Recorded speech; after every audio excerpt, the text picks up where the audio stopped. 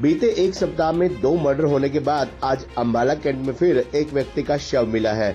ये dead body भी दूधला मंडी के पास खेतों में पड़ी मिली है।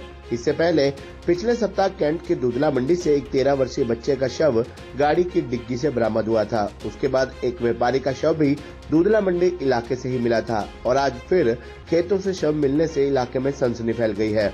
खेतों से मिली डेड बॉडी को कुत्तों ने बुरी तरह से नोच रखा है। मृतक की अभी तक शिनाख्त नहीं हो पाई है। सूचना मिलने के बाद मौके पर पहुँची पुलिस ने शव को कब्जे में लिया और आगामी कार्रवाई शुरू कर दी। पुलिस के मुताबिक, ये डेड बॉडी खेतों के किनारे नाले से बरामद हुई है, जो कि अम्बाला कैंट की दूधला मंडी को जाने वाले मुख्य रास्ते पर स्थित पीर के पास है।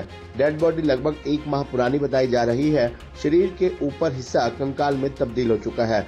इसके अलावा मृतक ने जीन्स पहनी हुई थी। फ़िलहाल पुलिस शव की शिनाख्त करने में जुटी हुई है। पड़ता है अम्बाला कैंट के साथ लगता इससे जो आगे दूधला मंडी को सड़क जाती है साथ लगता जंगल है। वहाँ से सूचना मिली थी भाई कोई लावारिस नाश पड़ी हुई है जो काफ़ी पुरानी है जिसको कुत्तों वगैरह ने चुना हुआ है और उसको पोस्टमार्टम के लिए भिजवा रहे हैं। अभी उसकी कोई शनाख्त हुई नहीं है।